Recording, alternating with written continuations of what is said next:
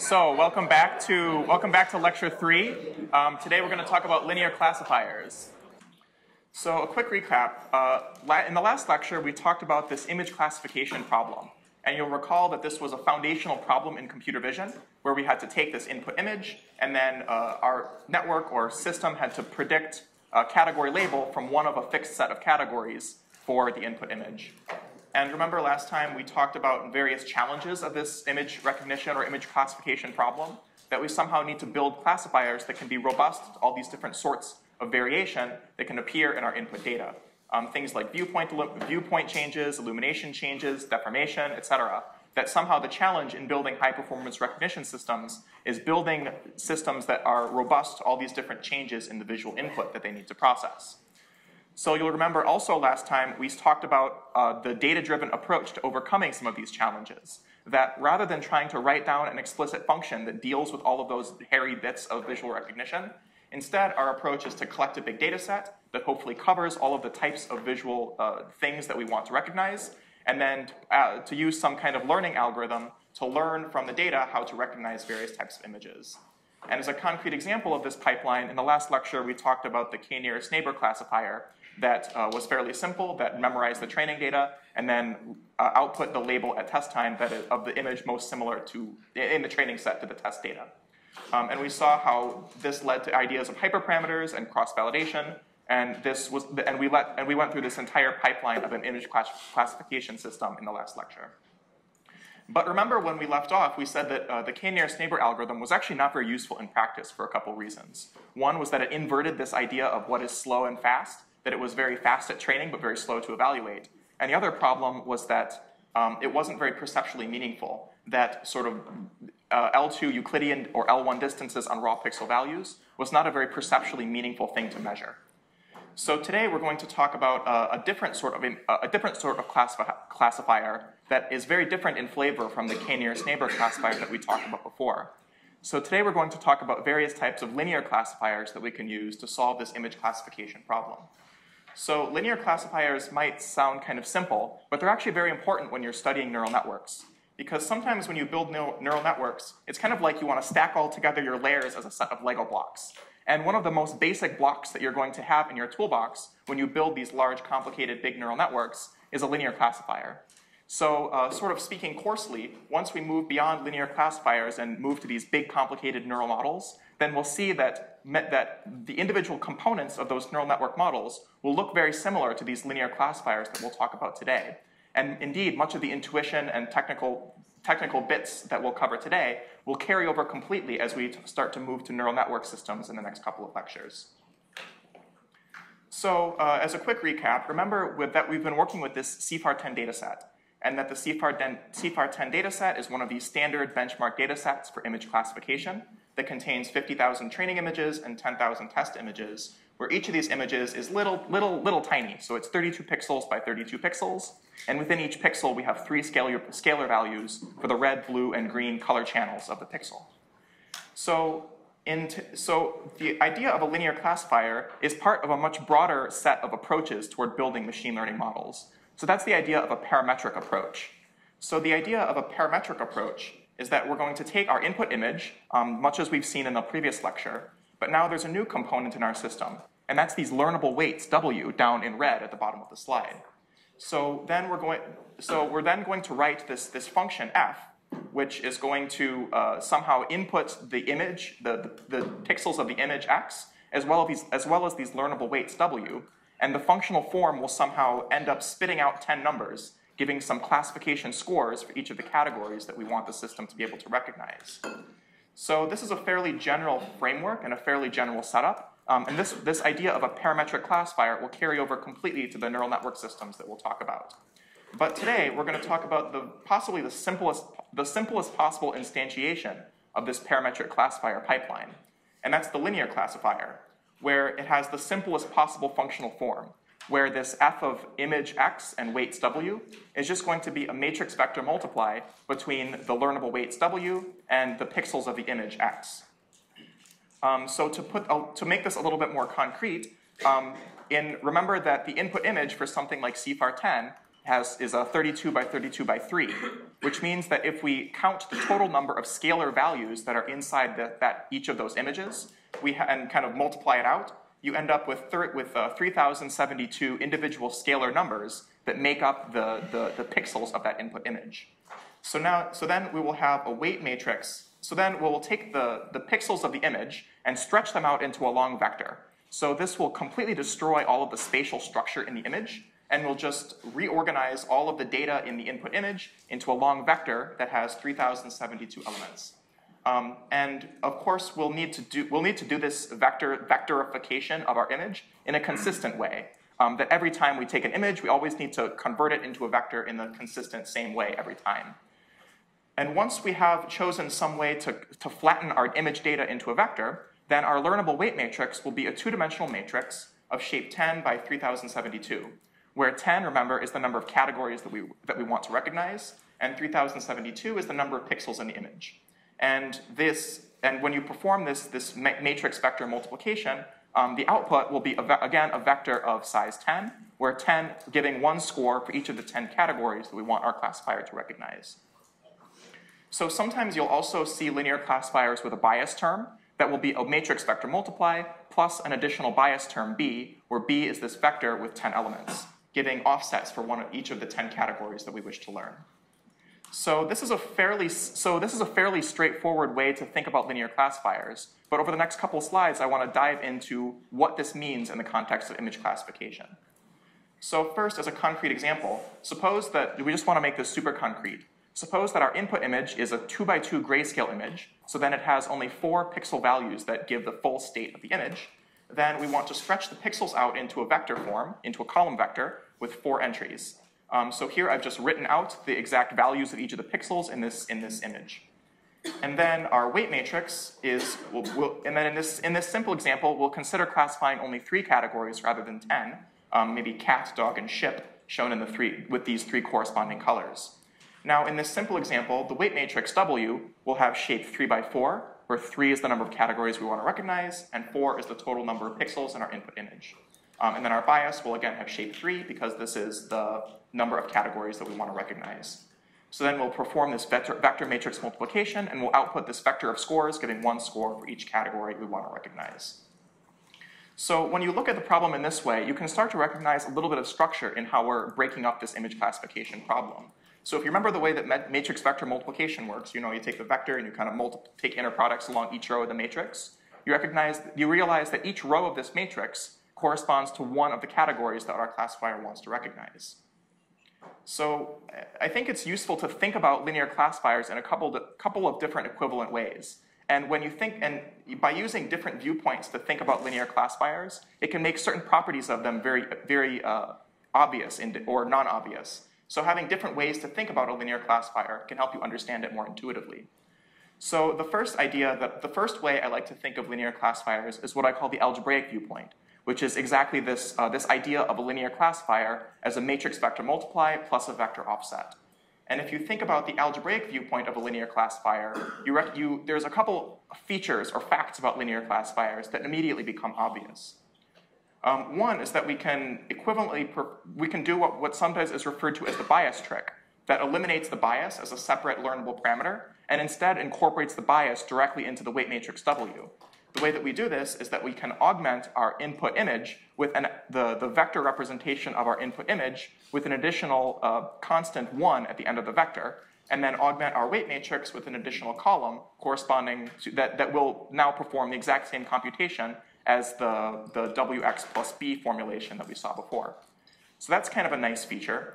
Um, and this bias trick is quite common, is, is pretty common to use when your input data has a native vector form. So it's nice to be aware of as you think about building different types of machine learning systems. But in fact, um, in computer vision, this bias trick is less common to use in practice because it doesn't carry over so nicely um, as we move from linear classifiers to convolutions later on. Um, and furthermore, it's nice sometimes to separate the weight and the bias into separate parameters so that we can treat them differently in how they're initialized or regularized or other things like that. But nevertheless, this bias trick is a fairly nice thing to be aware of for linear classifiers, and it's totally obvious when you think about it, when you think about linear classifiers through this lens of the algebraic viewpoint. Another, another thing that's very obvious when you think about linear classifiers in this algebraic way is that the predictions are linear. So what this means is that, as, an, so in the, as a simple example, if we ignore the bias, and we imagine scaling our whole input image by some constant c, then we could just pull that constant out of the linear classifier, and that means that the predictions of the model will also be scaled by that, by that scalar value c. So if you think about images, that means that if we have um, some input, Im some original image on the left with some set, with some predicted classifier scores from a linear classifier, then if we were to modify the image by uh, sort of desaturating it, by multiplying all the pixels by some constant one half, then, that, then all of the predicted category scores from the classifier would all be cut in half as well. So this is maybe a bug, maybe a feature, but it feels kind of weird for linear classifiers to behave in this way on image data. Because you might think that just by scaling down all the pixels by a constant value, um, we as humans have, can still recognize this as a cat just as easily. Um, but somehow it's a bit unintuitive that just scaling down all the pixels can change the predicted scores from the classifier. So that's a, that's a, a kind of a weird feature of linear classifiers that may or may not be important depending on exactly what loss function you use to train these. So we'll talk about that a bit later. So that's the algebraic viewpoint that I like to think about for linear classifiers. But there's a very, there's a, we can reformulate this computation in an equivalent but slightly different way that will give us a slightly different way to think about exactly what image linear classifiers are doing in the context of image data. So remember from the, this, this algebraic viewpoint of a matrix vector multiply, we saw that the, the, classification score that's predicted for each category is the result of an inner product between the vector representation of the image and one of the rows of the matrix, right? Um, well, in this algebraic viewpoint, recall that we had taken the, pix the, pixel values of our input image and stretched them out into a column vector. Um, and then when we took this inner product, we ended up with an inner product of these, these rows in the matrix and the, and the column of the stretched out version of the image. Well, rather than stretching out the image into a column vector, we can instead think about re reshaping the rows of that matrix into the same shape as the input image.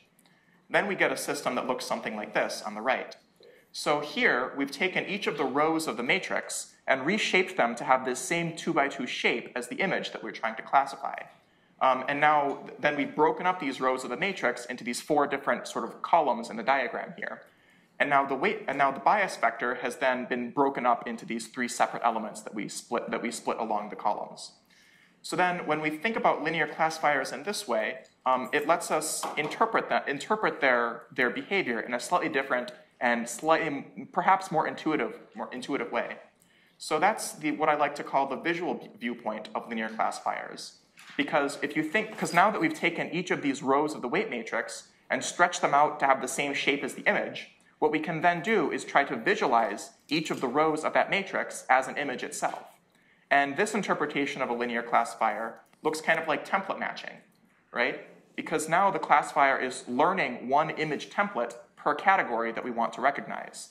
And each of these templates is then, and then to produce the category score for the template, we simply match up the template for the class with the pixels of the image um, by computing an inner, an inner product between them.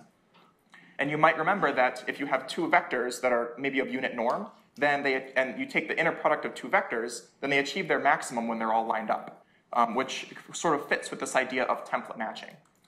Um, and now it's really interesting if you, uh, then you, by, by visualizing these, these learned templates from the classifier as images themselves, you get a bit more intuition about exactly what this linear classifier is looking for in images when it tries to recognize the different categories.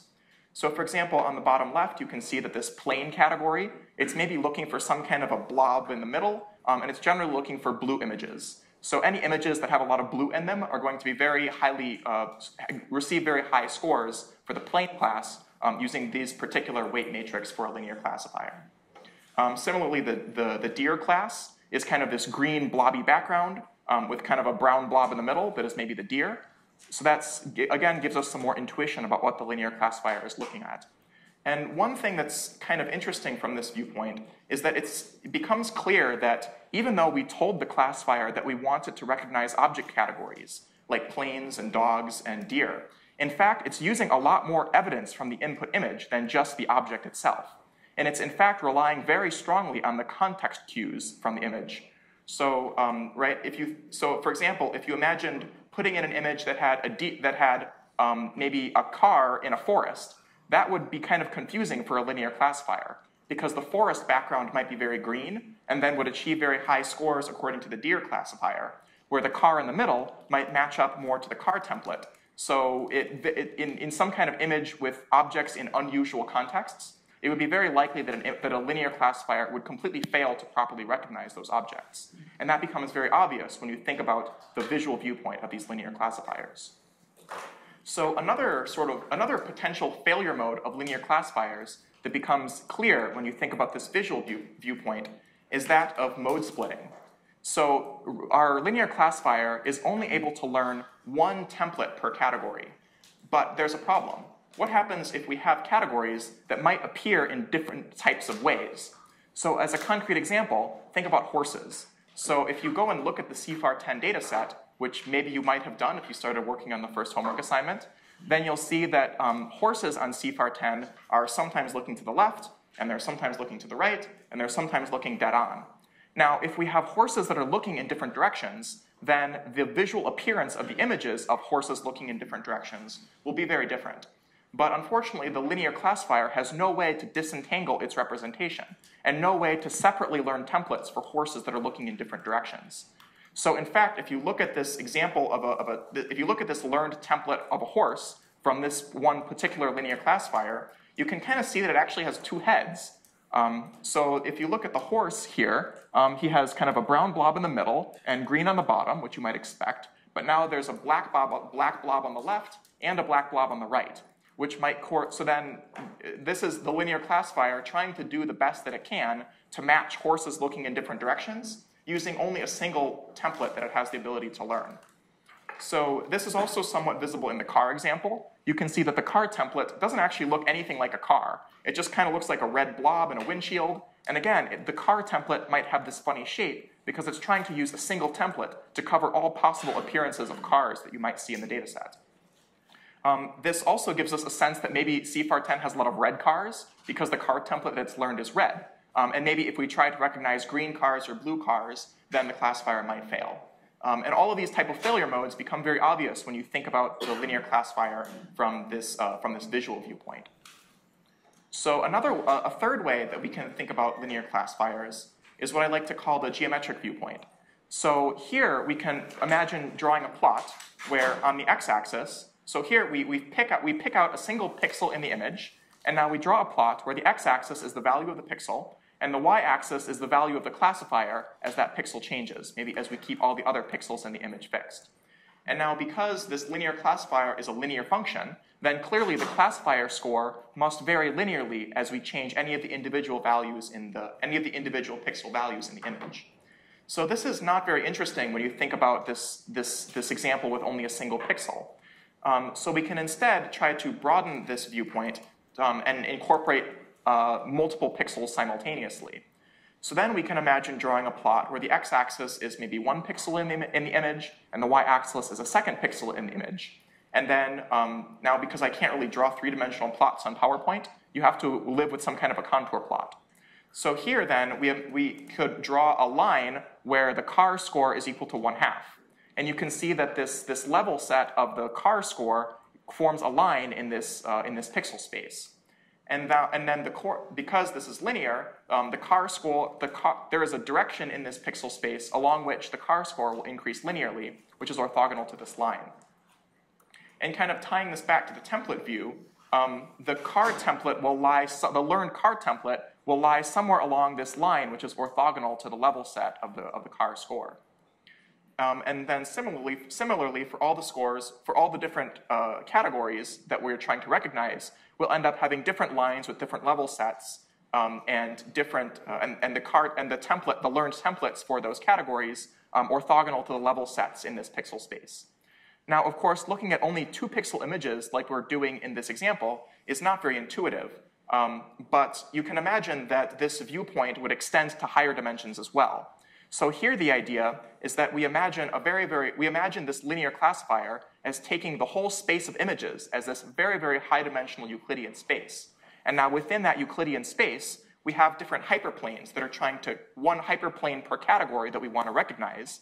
And each of those hyperplanes we try to recognize, each, each of the hyperplanes for each of the categories we want to recognize are now cutting this high-dimensional Euclidean space into two half spaces along this level set. So that's this, this third viewpoint on linear classifiers, which is of um, one hyperplane per class cutting up this high-dimensional Euclidean space of pixels. So when I, this, this geometric viewpoint is, is a very useful way to think about linear classifiers, but again, I would caution you that geometry gets really weird in high dimensions.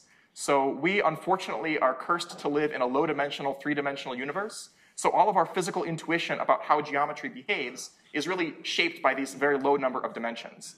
Um, and that's kind of unfortunate because the way that geometry, Euclidean geometry behaves in very high dimensions um, can be very non-intuitive to, um, to, this, to low dimensions, uh, to our low dimensional experience. So um, while I think that this, this geometric viewpoint is kind of useful sometimes, it's very easy to be led astray by geometric intuition because we happen to have all our intuition built on low dimensional spaces. But nevertheless, the geometric viewpoint does let us um, get some other ideas about what kinds of things a linear classifier can and cannot recognize. So then, based on this geometric viewpoint, we can try to write out different types of cases or uh, uh, different kinds of classification settings that would be difficult or impossible for a linear classifier to properly recognize. So here the idea is that um, we've colored this two-dimensional pixel space um, with red and blue corresponding to different categories that we want the classifier to try to recognize. Um, and these are all three cases that are completely impossible for a linear classifier to recognize.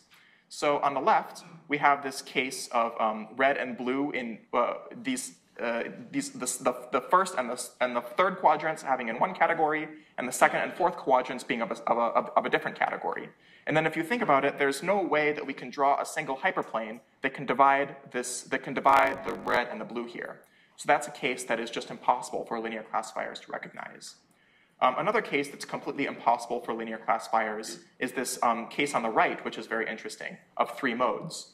So here, uh, this, um, here we've got the blue, in the blue category, there's maybe three distinct patches and parts in regions in pixel space that correspond to possibly different visual appearances of, um, of the category we, we want to recognize. And then if we have these different disjoint regions in pixel space corresponding to a single category, Again, you can see there's no way for a single line to perfectly carve up the red and the, the red and the blue regions. So this, this, this right example of these three modes is, um, I think, similar to the, what we saw in the visual example of maybe the horses looking in different directions. That you can imagine maybe in this high dimensional pixel space, there's some region of space corresponding to horses looking right, and a completely separate region of space corresponding to horses looking a different direction. Um, and again, with a single, and now with this um, geometric viewpoint of hyperplanes cutting up high dimensional spaces, it again becomes clear that there's, it's very difficult for a linear classifier to carve up classes that have completely separate modes of appearance. And this also ties back to the historical context that we saw in the first lecture. If you remember, um, in the first lecture last week, we talked about this historical context of different types of machine, machine learning algorithms people had built over the years. And one of these very first machine learning algorithms that got people very excited was the perceptron. Um, that all of a sudden there was this machine that could learn from data, it could learn to recognize digits and characters, and got people really excited. Um, but it had this. But now, if we were to, if you were to look back at the exact math of the perceptron now, we would recognize it as a linear classifier. And because the perceptron was a linear classifier, there's a lot of things that it was just fundamentally unable to recognize. The most famous example was the XOR function, um, which is shown here, which where we have the, the green is one category um, and the blue is a different category. So because the linear, because the perceptron was a linear model, there was no way that it could carve up these these uh, input these uh, red and green regions, uh, red and sorry green and blue regions with a single line, and therefore there was no way that the perceptron could learn the XOR function. So that's kind of a nice bit of historical context about why the geometric viewpoint was historically useful for uh, having people think about how machine learning algorithms could operate.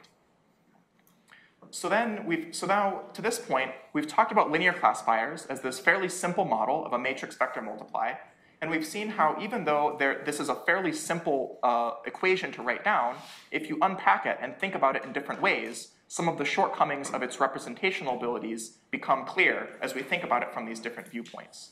So is there any questions about these, these different viewpoints of linear classifiers so far? Okay, so then basically where we are now is that once we have a linear classifier, we're able to predict scores, right? Given any value of the weight matrix W, we can perform this matrix vector multiply um, on an input image to now spit out a vector of scores for the, for the classes that we want to care, that we want to recognize.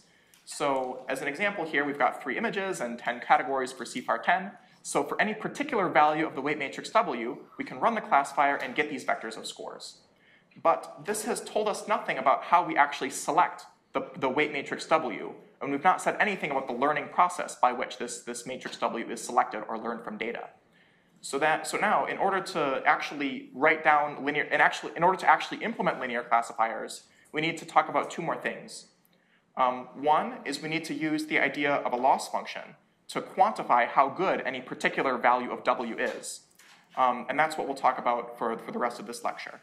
And then in the next lecture, we'll talk about optimization, which is the process by which we try to search using our training, use our training data to search over all possible values of W and arrive at one that works quite well for our data. So a little bit more formally, a loss function is some way to tell how good our classifier is doing on our data. Um, with the interpretation that a high loss means we're doing bad, and a low loss means that we're doing good. And the goal, the goal, the whole goal of machine learning is to write down loss function. Well, okay, that's a little bit reductive, but um, one way to one way that we can think about uh, a lot of neural network systems is writing down loss functions that try to capture um, intuitive ideas about what types of models are good, or when models are working well, and when models are not working well, and then finding, and then once we have this quantitative way to to evaluate models, then to try to find models that do good. Um, and as a bit of terminology, this, this term of a loss function will also sometimes be called an objective function or a cost function in other bits of literature. And because people can never agree on names, sometimes people will talk about the negative of a loss function instead. So then a loss function is something you want to minimize. Sometimes people want to maximize something instead. And if the thing we care to, if, the, if we want to write down our model by maximize a, maximizing a function, then it'll typically called, be called something like a reward function, a profit function, utility function, fitness function. Each subfield has their own names and bits of terminology, but they're all the same idea. It's just a way to quantify when your model is doing well and when your model is not doing well. So then a bit more formally, the way that we'll usually think about this is we have some data set of examples where each input is a, vector x and each output is a label y. Um, in the image classification case, x will be these, uh, these images of fixed size, and y will be an integer, giving the label of, give, will be an integer indexing into the categories that we care to recognize. Now, the loss for a single example will often write as li, um, and it will take in, so then uh, f of xi and w will be the predictions of our model on a data point xi, and the loss function will then assign a score of badness between the prediction and the ground truth or true label yi. Um, and then the loss over the entire data set will simply be the average of all the losses of the individual examples in the data set. Um, so then this is kind of the idea of a loss function in the abstract. And the first concrete loss function, uh, and then you can imagine that as we try to tackle different tasks in machine learning, we, can, we need to write down different types of loss functions for each different task that we want to try to solve. And even when we're focused on a single task, we can often write down different types of loss functions that encapsulate different types of preferences over when models are going to be good and when models are going to be bad. So as a first example of a loss function, um, I want to talk about the multi-class SVM loss um, for, the, for image classification, or really for classification more generally. So here, the idea of the multi-class SVM loss is quite intuitive. What it basically says is that the score of the correct class should be a lot higher than all of the scores assigned to all of the incorrect classes. Um, right? That's, that's kind of an intuitive statement that if we want to use this classifier to actually predict, to, to recognize images, then at the end of the day, we don't care about the predicted scores. We want to assign a single label to the, each image that we want to classify. And in order to do that, we, it seems reasonable that we want our classifier to assign high scores to the right category and low scores to all the other categories. And now the, the multi-class SVM loss is one particular way to make that intuition concrete. So um, it, what exactly the multi-class, multi-class SVM loss computes is that we can draw a plot here where the x-axis is going to be the score for the correct class um, for the example we're considering, and the y-axis will be the, the, the, loss for that individual data point that we're trying to classify. Um, then, in addition to keeping track of the score of the correct class, we also want to keep track of the highest score among assigned to all other categories that we care to recognize. So maybe if, the, if, the, if we were classifying an image whose correct class is um, cat, then the x-axis would be the cat score, and then this particular dot would be the highest score assigned to all of the other categories in the, in the classifier. And then the multi-class SVM loss looks like the following.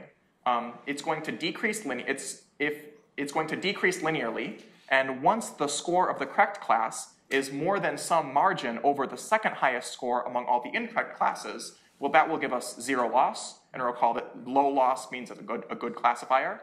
And then moving to the left, um, you can see that as the score for the correct class um, becomes close or even higher than the score to, all, to the highest incorrect class, then the loss we assign to that example will increase linearly.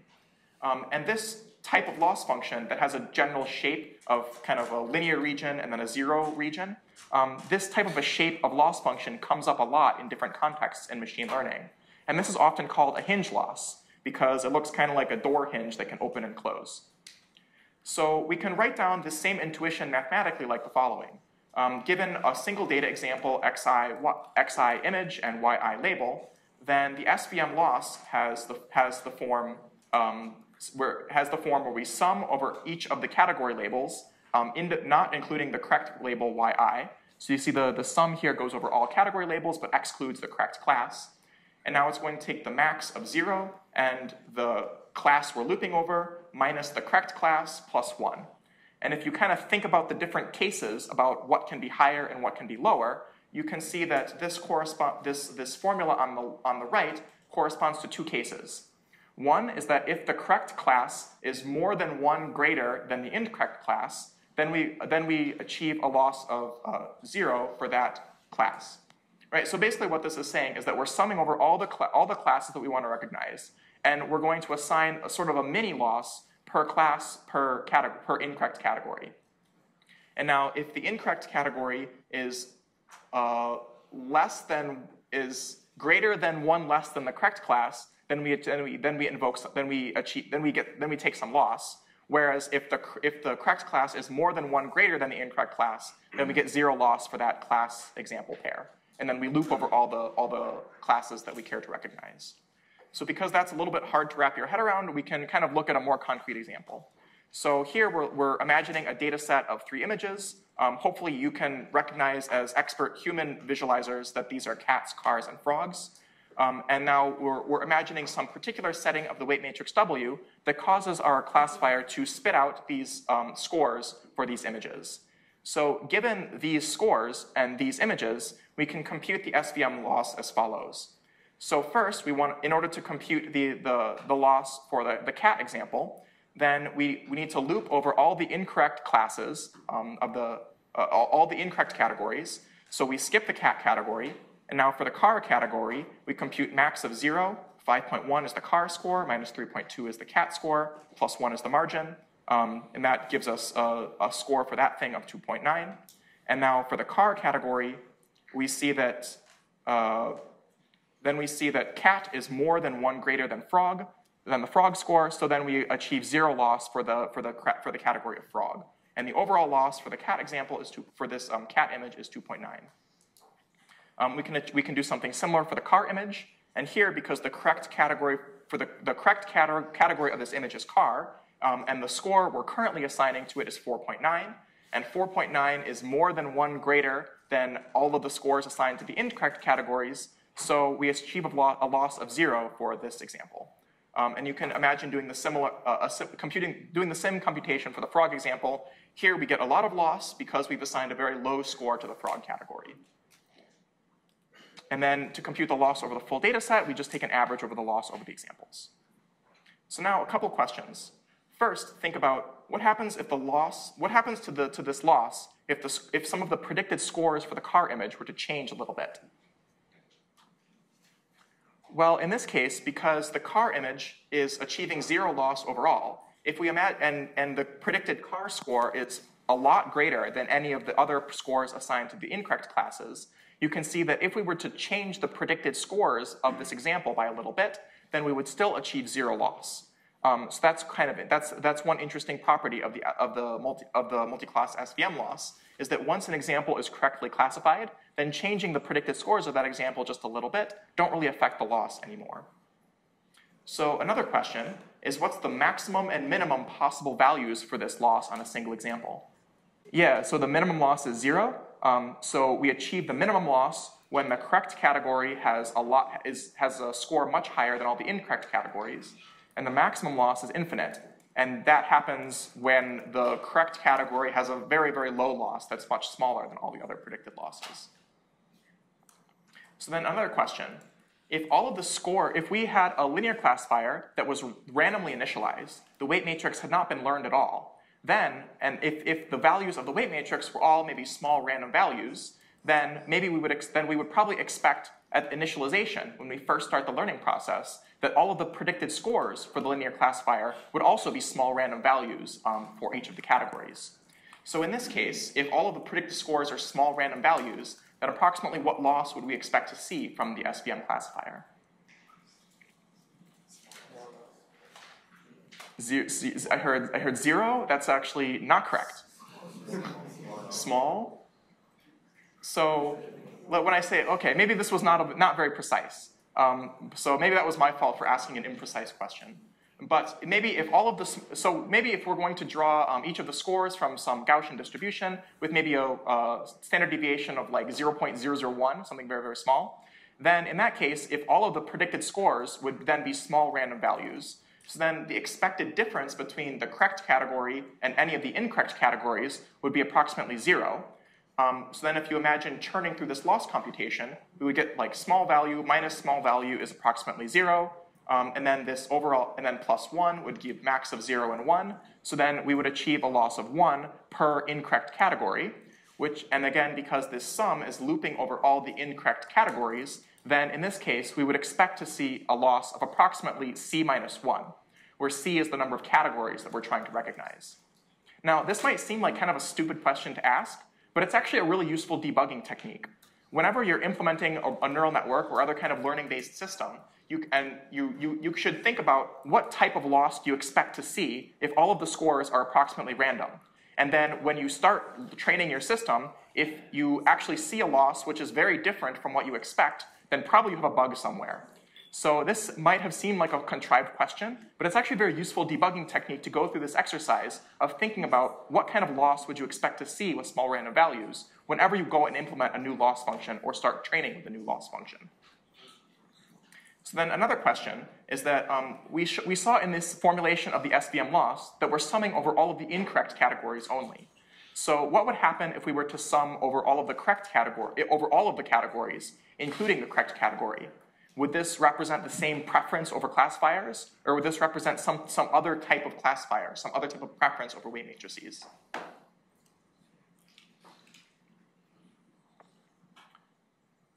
Well, in this case, all, we would just expect all of the scores to be inflated by one, right? Because this would be adding an extra term to the sum. Uh, sorry.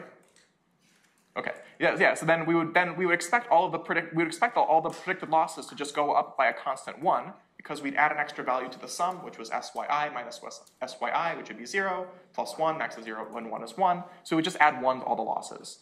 Um, so this would express the same preference over classifiers, because all the losses would be inflated by a value of 1, but the relative assignment, but uh, the we would not change our order about whether we would prefer one, one weight matrix over another, because all the losses would just be inflated by 1.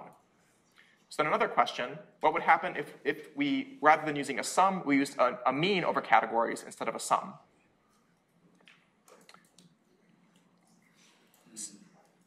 So here then, all of, the, all of the computed losses would just be multiplied by a factor of 1 over c minus 1.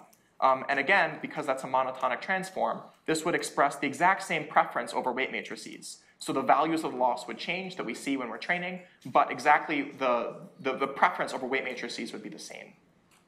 So another question, what if we used some other type of formulation? What if we took a square, what if we um, put a square over this max value? So this would now express quite a different, this would actually be quite different. So this would change all of the scores in a nonlinear way, and this would cause our pref the, the preference over weight matrices that we're expressing with our loss function to change in a non-trivial way. So this would no longer be called, this, you could no longer call this a multi-class SVM loss, because this would now be expressing a different set of preferences over our possible weight matrices. So then now another question. Um, what happened if we found some, if we happens to get lucky and find some weight matrix W that caused the overall SVM loss to be zero? If we, if we happen to find such, a, such an example with zero loss, would it be unique?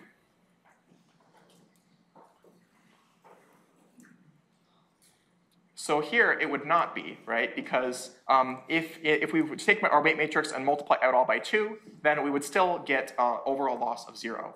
And we can see that by working through one of these examples, that if the loss was zero, that meant that all that the score for the correct category was more than one greater than all the scores for the incorrect categories. So if we, then if we multiply the weight matrix by two, then all of the predicted scores will also go up by a factor of two because the classifier is linear, which will mean that now all of our predicted, all of the predicted scores for the correct categories will be more than two greater than all of the scores for the incorrect categories. So we'll still be over the margin and we'll still get zero loss. So now that leads to kind of an interesting question. Um, now, it, now that it's possible that we can have two different weight matrices that achieve the exact same loss, then how can we possibly express preferences over these weight matrices? Right? Because in this case, we found two different weight matrices that achieve the same loss on the training data. So in order to distinguish them, we need some other we need some additional mechanism beyond the training set loss in order to express our preference preferences over classifiers. So this is an idea, this is one idea called regularization. So regularization is some thing, some piece that you add to the objective function um, or the overall learning objective that is fighting against the training data, what uh, is performing well on the training data. So, so far we've seen this overall loss as um, the average loss of all the examples on the training set. So this is usually called the data loss, which um, is somehow measuring how good are the model's predictions on the training data. Um, and it's very common to add an additional term to our overall loss function that does something else that might not depend on the data. That's called, this is called a regularization term that, um, that, hold, that serves a couple different purposes. One is to prevent the model, one is to express, uh, right.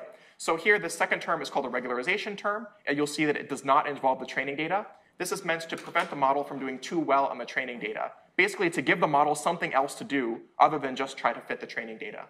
And here, these different types of regularization will often come with some kind of hyperparameter, usually called lambda in terms of regu for regularizers um, that will be some hyperparameter controlling the trade-off between how well the model is supposed to fit the data versus how well is the model supposed to achieve this regularization loss. So a couple, a couple very common examples of regularization that are typically used for linear models um, are L2 regularization, which is the overall uh, norm of the, of, the, of the weight matrix W. Um, the L1 regular, and we can sometimes use an L1 regularizer, which is the sum of the absolute values of all the elements in this weight matrix W. Um, sometimes you'll see what's called an elastic net in statistics literature, which is a combination of the L1 and L2 regularizer, regularizers.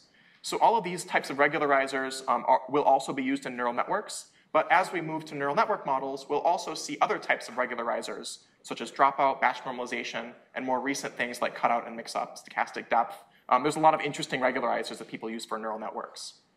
But the, the, the, the, basic idea of why we might want to use regularizers is somehow threefold in my, in my thinking. Um, one is that adding some additional term, term to the loss beyond the data loss allows us to express our preferences over different types of models when those different types of models are not distinguished by their training accuracy. Um, and this can, sometimes, this can be a way that we can inject some of our own human prior knowledge into the types of classifiers that we would like to learn. A second is to avoid what we call overfitting. So overfitting is a bad problem in machine learning. This happens when you build a model that works really, really well on your training data, but it actually performs very poorly on unseen data. And this is here, this is a point where, where machine learning is quite distinct from something like optimization, right? In optimization, we typically have an objective function, and our whole goal is just to find the bottom of the objective function. But in machine learning, we often don't really want to do that at all because at the end of the day, we want to build a system that performs well on unseen data. So finding a model that does the best, gets the best possible performance on the training data might be working actually against us in some ways um, and might result in models that do not work well on unseen data.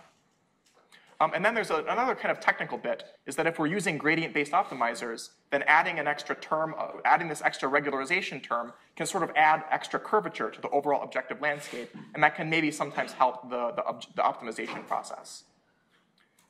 So the one idea of so I said that one idea of regularization is to is that we can express preferences over different types of classifiers that we want the model to learn. So here's an example where we have um, a, an, an, input vector x that has all ones, and now we consider two different weight matrices, W1 and W2. And now imagine that we're in some kind of linear classification or linear regression setting. Then the prediction of a linear model with this input x and either of these two weight matrices will be 1, right? Because the inner product of the, of the, of the vector x and either of these two matrices is 1, which means that if we were solely going by something like a data loss, then the loss would have no way to distinguish these two different, uh, these two different values of the weight matrix, and they would be preferred equally. But if, we're to use, if we were to add an L2 regularization term to this model and, and to our loss function, then this allows us to express an additional preference to tell the model which of these two we would prefer.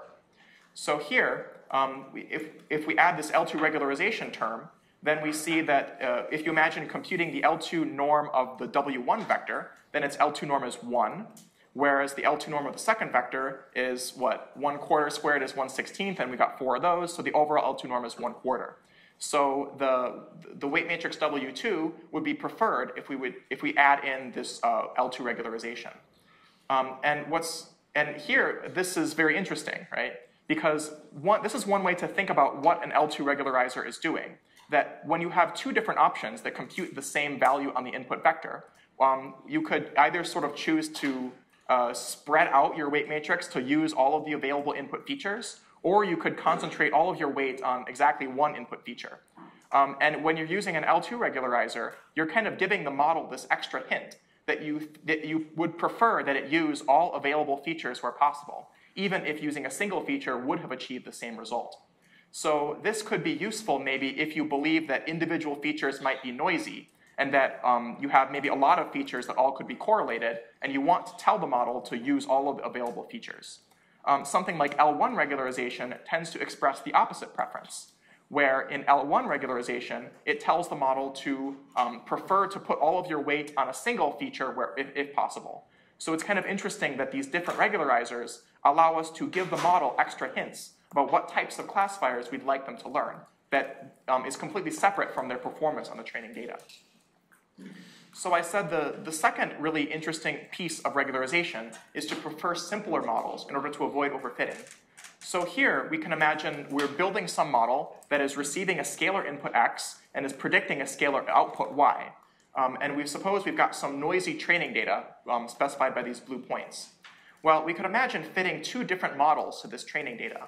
Um, maybe the model F1 is this blue curve that goes and perfectly fits all of the training points whereas the model F2 is this green curve that does not perfectly fit all the training points. But somehow the, the model F, the, the F2 curve is somehow simpler because it's a line and not a big wiggly polynomial. So um, it might be that given our human intuition about the problem, we might, we might have reason to believe that a line might be a more generalizable solution to the task at hand.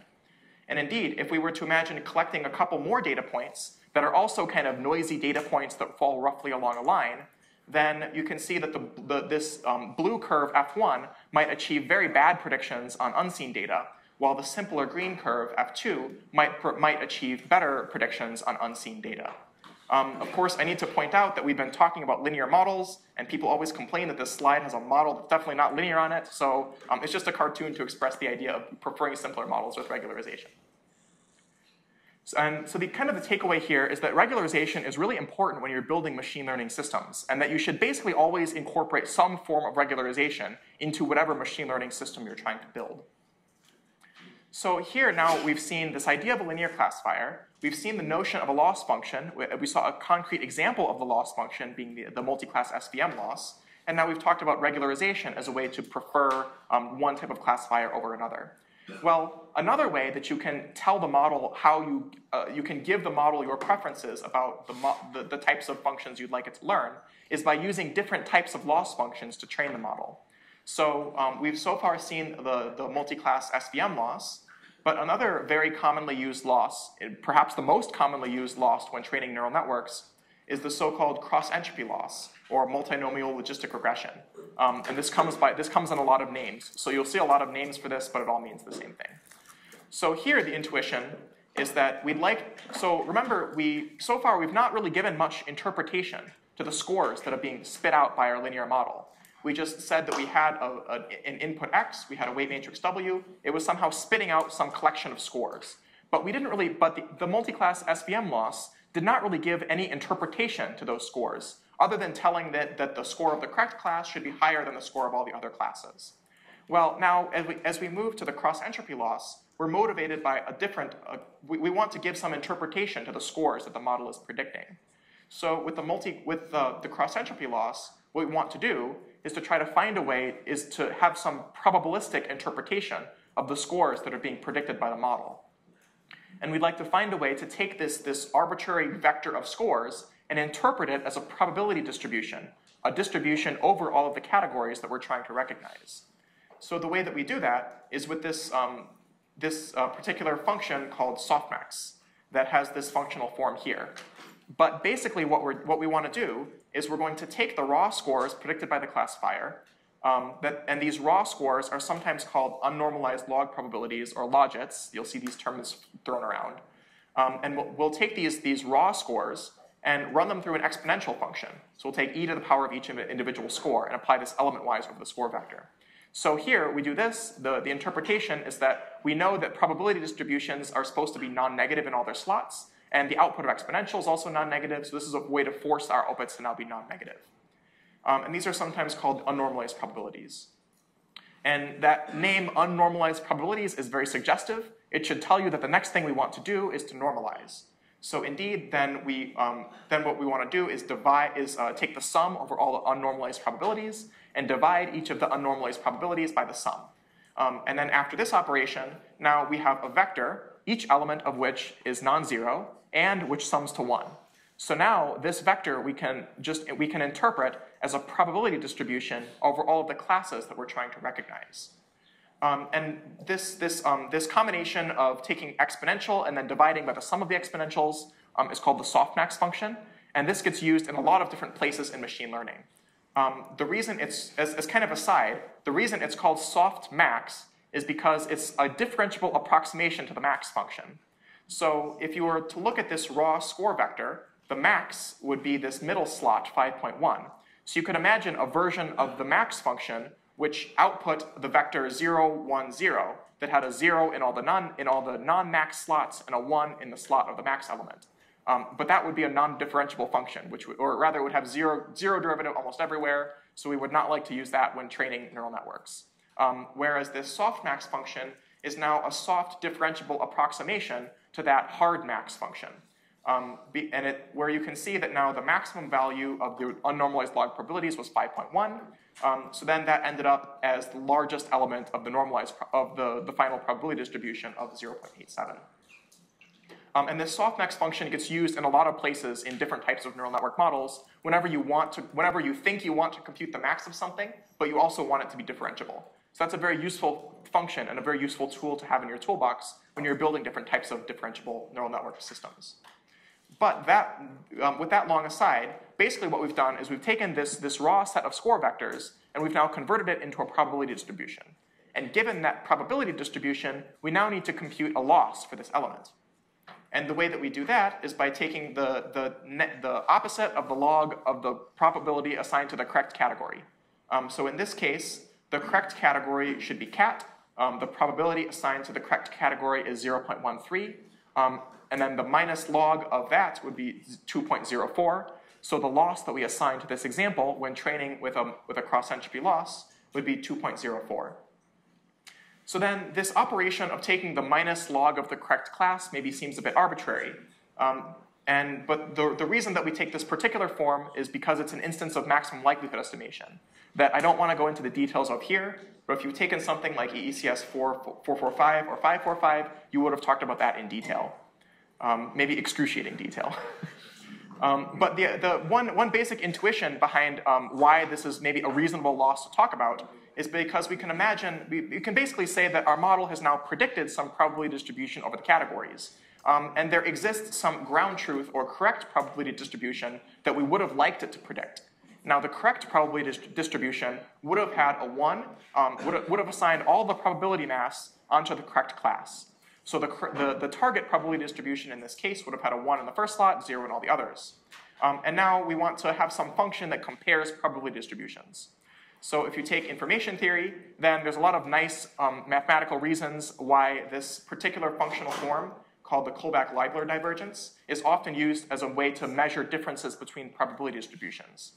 Um, and now if you imagine using this Kullback-Leibler di divergence to compute the difference between this predicted probability distribution in the green box and this target probability distribution in the purple box, then if you work out the math, you'll see that it comes out to be the minus log of the probability assigned to the correct class.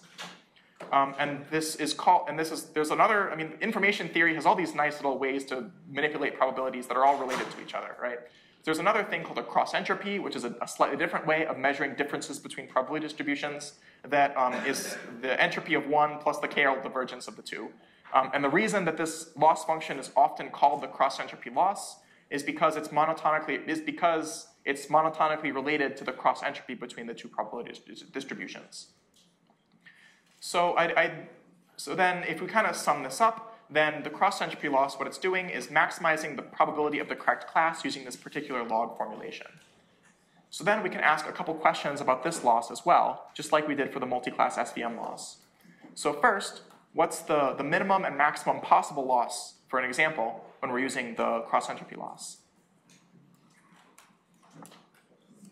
Yeah, so the minimum loss would be zero, um, and the maximum loss would be infinity. But what's interesting here is that with the SVM loss, it was actually possible to achieve the minimum. Because remember, with the SVM loss, we could achieve a loss of zero by just having the, the correct class be a lot higher than all the other classes. But with the cross-entropy loss, the only possible way that we could actually achieve a loss of zero would be if our target, if our predicted probability distribution was actually one hot. And if our, the only way we'd actually get zero is if our, our predicted and target probability distributions were actually the same.